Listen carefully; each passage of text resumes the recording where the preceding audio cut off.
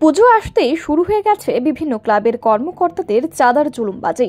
এর ফলে অতিষ্ঠ গাড়ির চালকরা এবার পুজোর চাঁদার জুলুমবাজিতে অতিষ্ঠ হয়ে জাতীয় সড়ক অবরোধে বসল মালবাহী গাড়ির চালকরা।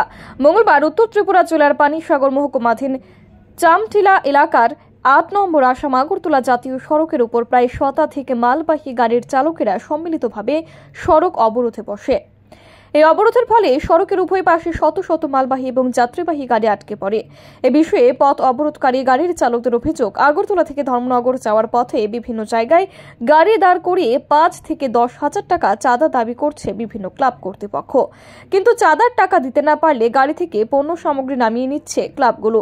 তাদের উপার্জনের চাইতেও বেশি চাঁদার দাবি করে গাড়ি ভাঙচুর থেকে আরম্ভ করে তাদের মারধর করা হচ্ছে বলেও চালকদের অভিযোগ। তাই এক প্রকার নিরুপায় হয়ে মঙ্গলবার প্রতিবাদে সামিল হন গাড়ির চালকরা। পুজো উদ্যোক্তাদের এমন অত্যাচারের বিরুদ্ধে কঠিন পদক্ষেপ গ্রহণের জন্য রাজ্য সরকার এবং প্রশাসনের নিকট আবেদন জানান গাড়ির চালকরা। কারণ হইল ওটাও, যখন গাড়ির ড্রাইভারগুলা রাস্তার মধ্যে যানবাহন লইয়া আসা যাওয়া করে, আগরতলার তাকিয়া ধর্মনগরের ভাড়া হইল পাঁচ হাজার টাকা।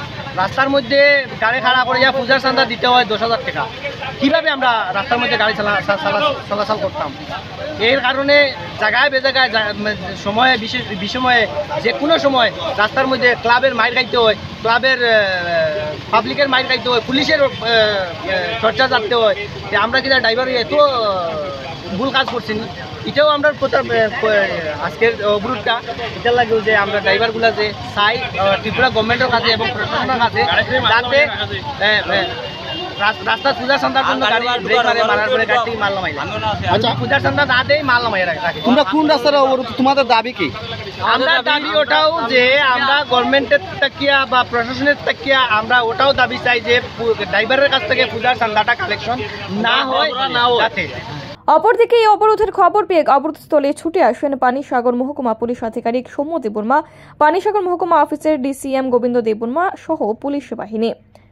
মহকুমা পুলিশ আধিকারিক এবং ডিসিএম পথ অবরোধকারী গাড়ি চালকদের সাথে দীর্ঘক্ষণ আলোচনা করে আশ্বস্ত করেন যে তাদের দাবিগুলি ঊর্ধ্বতন কর্তৃপক্ষের গোচরে নেওয়া হবে এবং সমাধান বের করা হবে।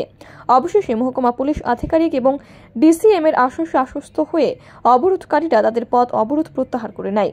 যাতে কিছু মিডিয়াম মিডিয়াম ভেহিকেলের কিছু ড্রাইভাররা মিলে ওরা পথ অবরোধ করে ওদের সমগ্র ত্রিপুরা রাজ্যে চাঁদার সাবস্ক্রিপশন নিয়ে, চাঁদার যেই সাবস্ক্রিপশন কালেকশন হচ্ছে, ওইটার অভিযোগে আজকে ওরা এখানে একটা কিছু দশ মিনিটে এখানে পথ অবরোধে বসে আমরা কথা বলি এবং এসডিএম পানিসাগর অফিস থেকে একজন ডিসিএম এসছেন। ওনার সঙ্গে কথা বলে আশ্বাস দিয়েছেন। আমরা মিটিং আগামী দিনে মিটিং করব এই নিয়ে। আলোচনা হবে। আলোচনার মাধ্যমে আমরা এই জিনিসটা, ওদের যে সমস্যা, ওদের যে কমপ্লেনটা আমরা সলভ করার চেষ্টা করব।